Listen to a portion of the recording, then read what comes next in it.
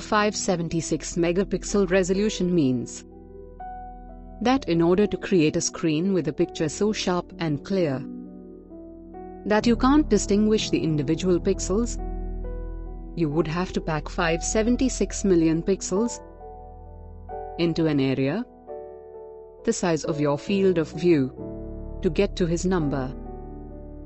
Dr. Clark assumed optimal visual acuity across the field of view. That is, it assumes that your eyes are moving around the scene before you. But in a single snapshot, length glance, the resolution drops to a fraction of that, around 5 to 15 megapixels. That's because your eyes have a lot of flaws that wouldn't be acceptable in a camera.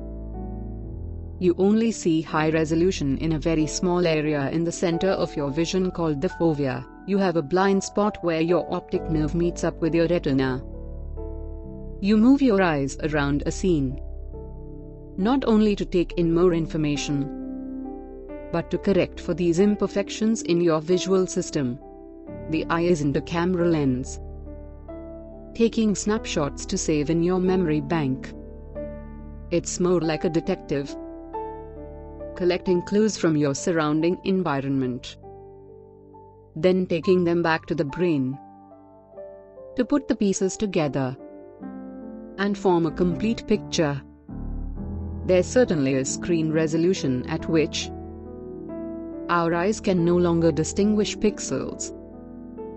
But when it comes to our daily visual experience, talking in megapixels is way too simple.